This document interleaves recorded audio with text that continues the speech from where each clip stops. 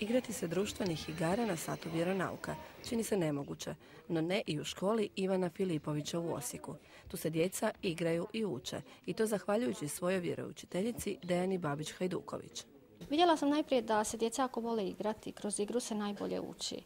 I onda sam odlučila e, u biti e, napraviti im igru koja će im pomoći da što lakše usvoje sve ono potrebno, da ih zainteresira, ali tako da e, mogu kroz tu igru raditi i obradu i ponavljanje i provjeru znanja. e, da ona bude izvodiva i u školi, ali i na župnoj katehezi, ali isto tako i kod kuće s roditeljima mogu igrati s djedom bakom. U početku sama je kod kuće izrađivala igrice od hamer papira, a danas govorimo o zbirci edukacijskih igara za proučavanje Biblije s kojom je Dejana osvojila brojne nagrade. Naime, svoju je ideju i inovaciju odlučila uz pomoć stručnih ljudi pretvoriti u nešto što će učenje vjeronauka na zabavan i poučan način olakšati svima. Obratila se Ivanu Štefaniću i tada Tehnologijsko-razvojnom centru. Iz dobre ideje tada je napravljen cijeli projekt.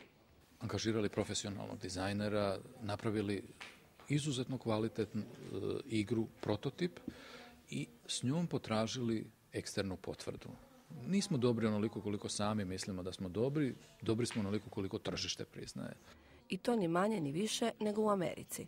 Američki Impex je najveća američka izložba, a Sjedinjene države su vjerojatno najsloženije i najzahtjevnije tržište. I upravo na Impexu su se desile dvije izuzetno važne stvari. Prvo, doživjeli smo potvrdu ispravnosti i osvojili brončanu medalju. To je bilo fenomenalno.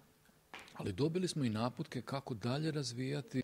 Nakon toga stiglo je i zlato na Budi uzor, posebna nagrada Rumunjskog saveza inovatora, specijalna nagrada Rusije. Od one inicijalne ideje danas imamo zaista snažno e, i sadržajno razvijen projekt. Samo evo, e, da još zažive i u školi i u e, crkvama na katehezi u domovima i onda mislim da sam veliki dio onoga što sam željela i što sad želim i očekujem dala za tu djecu. Za njihov bolji život, bolje sutra.